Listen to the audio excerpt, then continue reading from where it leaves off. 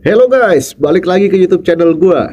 Ya, kali ini gua akan membahas soal monitor lagi. Nah, tapi monitor yang gue maksud kali ini adalah si outputnya ya.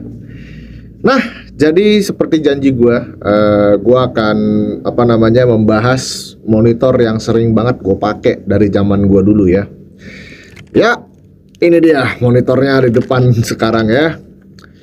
Jadi ini adalah headphone Beats ya. Uh, ini kalau misalnya kalian kira ini OM atau enggak, nah ini tuh uh, asli apa enggak? Biasa kelihatan dari sini dia pakai baterai ya. Kalau kalian bisa ada ada ada lampunya nih bisa nyala nih. Ini kalau misalnya kalian lihat sedikit tuh ada lampunya nih. Jadi dia mati. Dan dia ini pakai baterai guys tuh. Ya, jadi ini gue pakai baterai gue nggak di endorse ya sama baterainya sama produk ini juga gue nggak di endorse jadi ini bener-bener Hanes review aja. Ya. Jadi ini adalah headphone yang gue pakai gitu ya Beat Studio ini. Ini gue dulu beli itu 2012 guys. Uh, 2012 atau 2013 gue lupa. Kalau 2013 ya ini umurnya udah 10 tahun ya. Jadi ke dalam 10 tahun gue memakai ini uh, yang rusak itu apa aja? Yang rusak tuh ya pasti cuman ininya nih perlengkapan si ininya nih tuh. Kayak ini kan kalian bisa lihat tuh ya. Terus ini nggak bisa dibohongin ya bekas-bekasnya nih.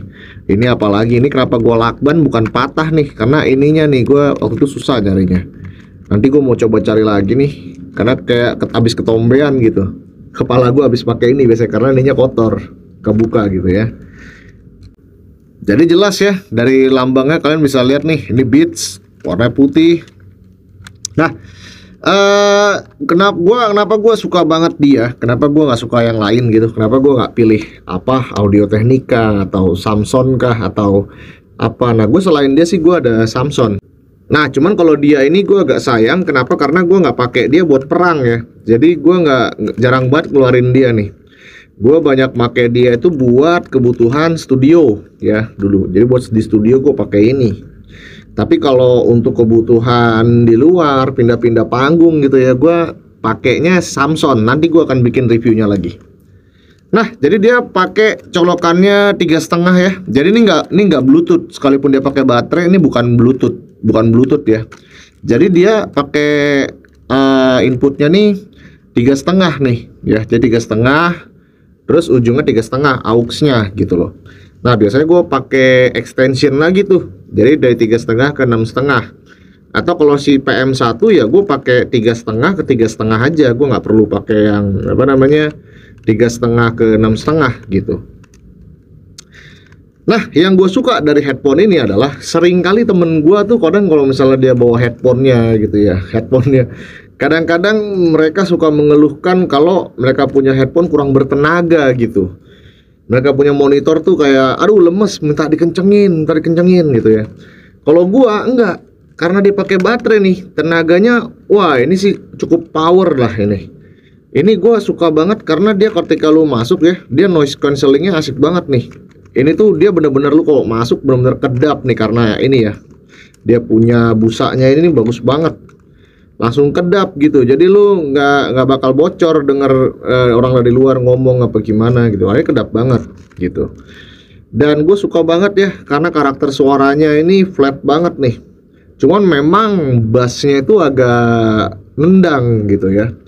Si low bagian low-nya. Cuman bagian low-nya pun dibilang nendang pun tapi clarity low-nya dapat gitu. Jadi low sama mid low-nya itu nggak nggak dominan low. Masih ada mid low-nya yang gue suka makanya uh, apa ya gue suka banget buat dapetin suara. Misalnya gue pengen bass drum gue tuh agak gak gue nggak mau terlalu low tapi gue nggak mau terlalu mid gitu. Nah gue biasanya suka dapet dengerin dapet tone yang enak dari sini gitu. Gue suka nih.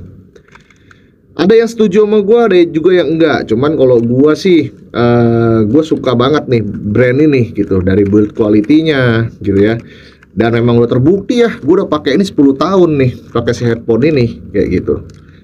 Uh, sekarang kayaknya udah nggak ada yang jual ya kayak gini. Rata-rata udah pada pakai true wireless semua ya pakai TWS gitu. Tapi gue masih suka pakai nih. Selain di recording gitu ya kadang-kadang gue juga suka pakai. Kalau cuma buat ke gereja doang gue suka pakai nih.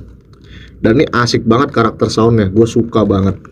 Karena dia bisa bener-bener menerjemahkan suara itu ibaratnya uh, sedetail itu gitu agak susah sih sebenarnya karena pemilihan headphone, ini monitor itu menurut gua uh, terlalu luas gitu. Orang punya selera.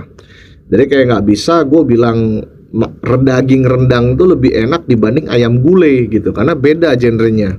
Nah kalau gue suka karakternya dia nih si Beats ini gitu dari dulu gue udah pakai dia tuh dari dulu nih dan ini nggak pernah mengecewakan gue sama sekali ya karena emang bagus banget. Dan dia bisa adjustable ya biasa lah ya. Ini fitur-fitur biasa dan bisa ditekuk kayak gini yang di mana bikin dia jadi lebih praktis gitu. Dulu gue ada tempatnya nih cuman gue lupa sih tempatnya ke mana. Ada tempatnya nih gue untuk beats ini. Cuman lupa sih gue karena gue habis pindahan nggak tahu ke mana-kemana barangnya. Ini juga kayaknya gue bakal ganti-ganti nih karena ini udah mulai jelek juga. Atasnya juga kayak gue perlu ganti seenak itu buat customable banget ini headphone-nya. Gue uh, kurang kayaknya zaman itu gue beli ini headphone kurang lebih harganya 4 juta kalau nggak salah. Di iBox gue inget banget di iBox Store di SMS nah dan begitu gue coba di rumah wow ini suaranya asik banget sih. Gue suka banget headphone ini. Memang kata orang mahal banget mahal banget. Ya satu ya karena memang serinya Beats. Siapa yang nggak tahu Dr. Dre ya Beats by Dr. Dre gitu Terus udah gitu uh, selain dapat ibaratnya kayak handphone Apple dan handphone Android di masa itu ya. Kayak gitu. Memang secara fungsi ya sama-sama aja kalau kata kaum mendang mending ya.